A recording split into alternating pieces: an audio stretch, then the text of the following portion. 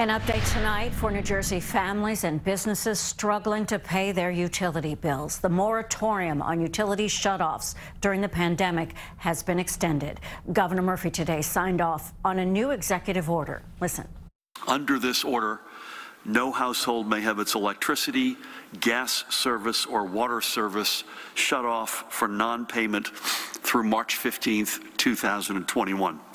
And if there is any customer whose service has been disconnected during the public health emergency, this order requires that their service be restored.